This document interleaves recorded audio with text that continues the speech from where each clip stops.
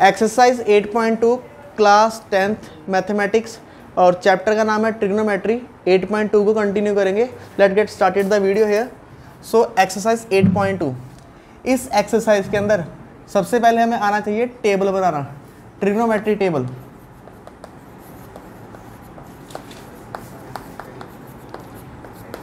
Table ठीक है? जैसे हमें फाइंड आउट करना है साइन 30 डिग्री साइन 30 डिग्री की वैल्यू क्या है? हमें मालूम करना है टेन 45 डिग्री की वैल्यू क्या है? तो ये सारे पैरामीटर्स हमें फाइंड आउट करने हैं। तो ये बार बार आपको वैल्यू साइन 30 टेन 45 की कहाँ से मिलेगी? क्योंकि सारी एक्सरसाइज के अंदर हमने वैल्यूज़ ही पुट करनी है। तो आपको क्या करना है? आपको सिर्फ़ एक काउंटिंग लिखनी है। That is zero one two three four ठीक है? साथ साथ करेंगे आप लोग। Zero one two three four सभी को फोर से डिवाइड कर दें। Four four four four four. सभी को फोर से डिवाइड कर दें। इसके बाद इसके ऊपर कर देंगे स्केयर रूट सभी क्वांटिटीज़ के ऊपर। डन डन अब इसको कैलकुलेट करते हैं। यहाँ पर हम लिखेंगे साइन थीटा उसके बाद कॉस थीटा कॉस के बाद टेन थीटा कल जब हमने यहाँ पे लिखा था पंडित बद्री प्रसाद, हर हर बोले। तो यहाँ पर मेजरमेंट्स कैसे किए थे? Sine theta cos theta tan theta sine का उल्टा क्या होता है? कोसीकेंट ठीक है? एस कहाँ से स्टार्ट हो रहा है? सी से। सी का उल्टा क्या है? सीकेंट थीटा टेन का उल्टा क्या है? कॉट थीटा ये कॉन्सेप्ट आपको पता है अब? अब साइन का उल्टा हो जाता है students this is the sine के नीचे देखें. साइन के नीचे उल्टा क्या हो जाएगा? कोसिकेंट थीटा कॉस का उल्टा क्या होगा? कॉस का उल्टा क्या हो जाएगा? सीकेंट थीटा टेन का उल्टा क्या हो जाएगा? कॉट थीटा ठीक है? तो यहाँ पर हम ऐसे वैल्यूज़ निकालेंगे. Sine cos tan cosecant secant और कॉट ठीक है जी? ये वैल्यूज़ आएँगी. सबसे पहले इसको सॉल्व करेंगे. तो ये लाइन्स हम कुछ कंटिन्यू कर देते हैं ऐसे।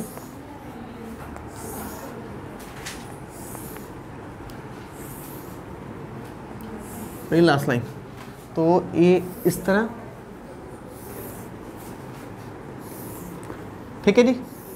तो ये हो गए सारी वैल्यूज़ अब साइन ये सबसे पहले आएगा zero degree then thirty degree forty five degree sixty degree ninety degree angle आगे भी होते हैं। एक्चुअली में क्या होता है? ये पूरा सर्कल है, ठीक है? This is the complete circle circular motion यहाँ से स्टार्ट होता है। यहाँ से कोई ऑब्जेक्ट चलना स्टार्ट हुआ, यहाँ से घूम के ऐसे पूरा वापस आएगा। ये पूरा मोशन होता है 360 डिग्री का।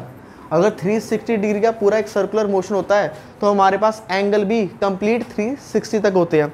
पर हम मेज़र आपके ये जो टेंथ का लेवल है टेंथ लेवल तक हमें सिर्फ़ 90 तक का मेज़रमेंट चाहिए। देखिए यहाँ पर, ये है ज़ीरो डिग्री और ये हो जाएगा 90 डिग्री और ये यहाँ से चल के जब यहाँ जाएगा, ये हो जाएगा 180 डिग्री ये हो जाएगा 270 डिग्री दोबारा घूम के वहीं पर आ जाएँगे कि चक्कर कितना कंप्लीट हो गया 360 डिग्री ठीक है? अगर हमें 90 तक के मेजरमेंट्स मालूम है 90 तक के मेजरमेंट्स हमने किसी भी वे से फाइंड आउट कर लिए तो नेक्स्ट जो है, इसी से निकाल लेंगे हम, ठीक है? इसको हमने चार क्वाड्रेंट्स में डिवाइड कर दिया। This is called first quadrant this is called second quadrant third quadrant and fourth quadrant ठीक है?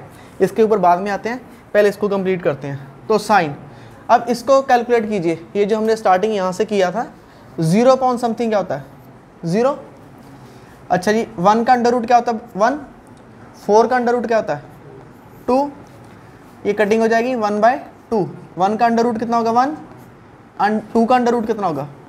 टू थ्री का अंडर रूट कितना हो जाएगा? अंडर रूट थ्री फोर का अंडर रूट टू ये कट जाएगा। Four by four one under root one कितना होता है? वन अब इसको कैसे पढ़ेंगे?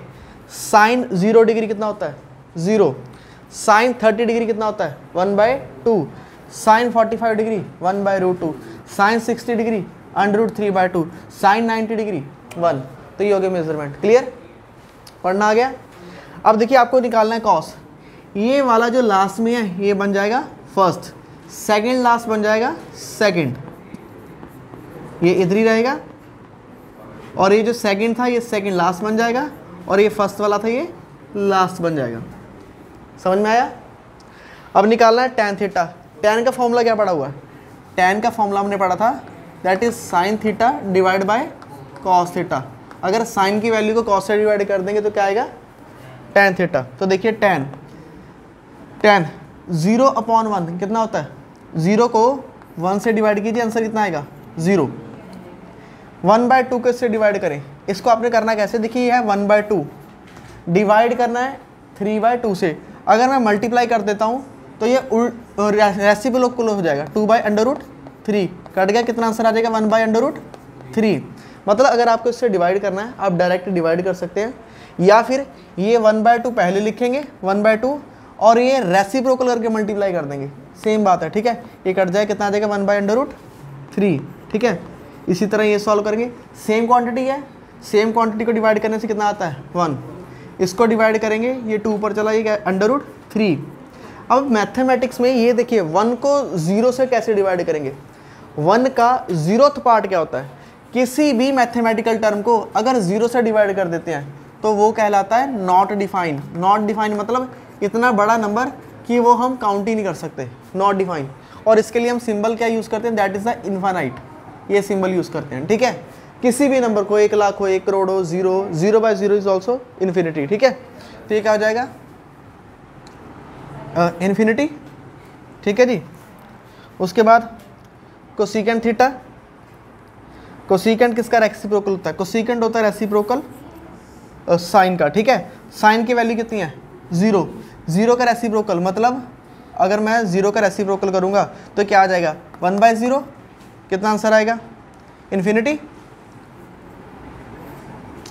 इसका reciprocal that is two by one इसका reciprocal under root two by one इसका reciprocal two by under root three one का रेसिप्रोकल तो वन ही होता है, ठीक है? ज़ीरो का रेसिप्रोकल इन्फिनिटी होगा, क्योंकि ज़ीरो का मतलब है ज़ीरो नीचे आएगी, ठीक है? किसी भी नंबर को ज़ीरो से डिवाइड करेंगे इन्फिनिटी और वन का रेसिप्रोकल मतलब वन बाय वन ये वन ही आ जाएगा। अब सीकेंड किसका रेसिप्रोकल है? कॉस का। वन का रेसिप्रोकल क्या हो जाएगा? वन इसका रेसिप्रोकल करेंगे तो two by under root three यहाँ पर कितना आ जाएगा? Under root two upon one इसका कितना हो जाएगा? टू बाय वन ज़ीरो का रेसिप्रोकल क्या होता है? इन्फिनिटी, ठीक है? कॉट कॉट किसका रेसिप्रोकल है? टेन का, ठीक है?